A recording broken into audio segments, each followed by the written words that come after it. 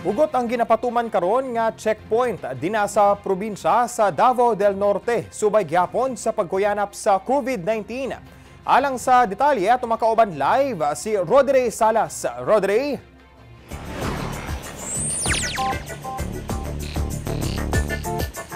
Jay, nakita partikularmente din sa tubangan mismo din sa Davao del Norte Provincial COVID Checkpoint nga nahihimutang din sa National Highway sa Barangay JP Laurel sa Panabo City. Ang inyong makita sa mong background karon nga mga sakyanan o checkpoint mo kana ang mga sakyanan nga nagikan mismo sa Davao del Norte nga buot mo sulod paingon sa Davao City medyo dili kay strikto ang mga otoridad nato dire sa pagrikisa uh, sa ila sanglit ila lamang ginaabisuhan o ginapahimangnuan ang mga motorista o ginapangutana kung unsa ba ka importante ang ilang transaksyon paingon sa Davao City. Kay kung dili kayo importante ilasab kini gina-request o ilang ginabisuhan nga mobalik na lang sa agi. Kay doon na pailain nga checkpoint nga maharang sila sa partikular na di sa may barangay Lasang sa Davao City. Samtang sa Pika Sub nga tent dina sa may southbound lane. Mo kana ang uh, uh, lane gikan sa Davao City pasulod mismo sa Davao del Norte. Kana siya nga tent din sa provincial COVID uh, checkpoint sa Davao del Norte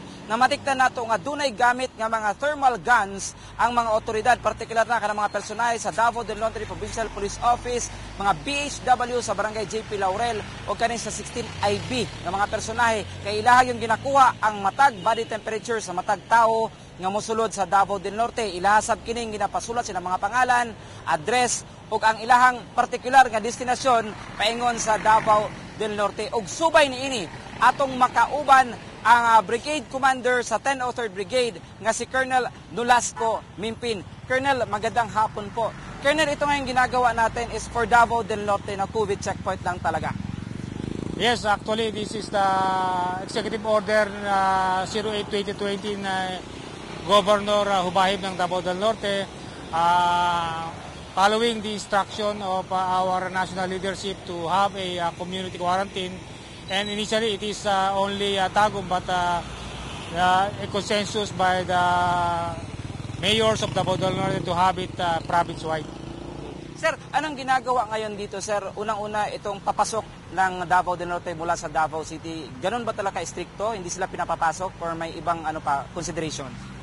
Uh, actually, kwan lang to, partial uh, lockdown. Then, uh, mamayang gabi, uh, after 24 hours, kasi yesterday yung uh, declaration ni Governor Ubahid, after 24 hours, uh, yung mga vehicles coming from uh, Davao City and uh, other provinces will not be allowed uh, to enter or pass by uh, Davao del Norte except yung mga supply chain natin, ng health uh, uh, professionals and yung member ng uh, Interagency Task Force sa uh, COVID-19.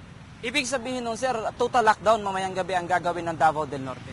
Yes, similar with uh, Davao City uh, so that uh, makontain talaga natin yung uh, virus and hopefully after uh, 20 days uh, at the minimum, uh, ma-resolve na itong uh, pandemic uh, problem ng uh, whole country.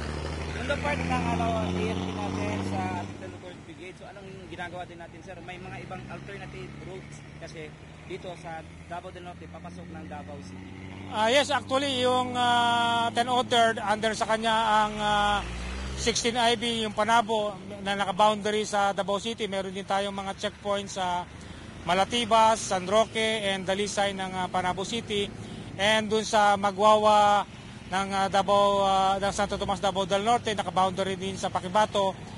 And yung ating uh, 56IB na nasa Talaingod, naka-boundary naman sa Bukidnon. So yun yung mga uh, sinisecure natin na border so that uh, hindi makalabas at makapasok yung mga uh, tao from outside Davao City and yung uh, resident naman ng uh, Davao del Norte hindi rin makalabas. Okay. Sir, maraming salamat po Colonel uh, Nolasco Mimpin, Brigade Commander ng 1003rd Brigade ng Philippine Army.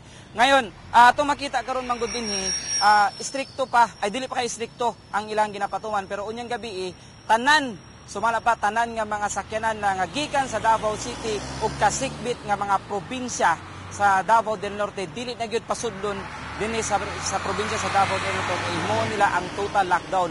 Mo po na ang ato ang ginaatangan nga himuon pa sa uban nga mga local government units isip uh, precautionary measures sa sakit nga COVID-19 nga kuyanap dinhi sa ato ang ah, lugar karon. Sa ato ang ah, mamatikdan kasagaran sa mga sakyanan jud nga mosulod pod sa Davao City, mga cargo trucks o mga delivery trucks nga nagadala og mga supply pan ginahatagan sila sila og konsiderasyon og dunay butay na matikdan kaganiya nga dunay mga buses nga gikan sa Davao del Norte nga nisulod og Davao City pero wala na sila mga kargang mga pasahero og wala na sab sila umigamit sa ilahang mga signboard kung asa man sila nga des- destinasyon na.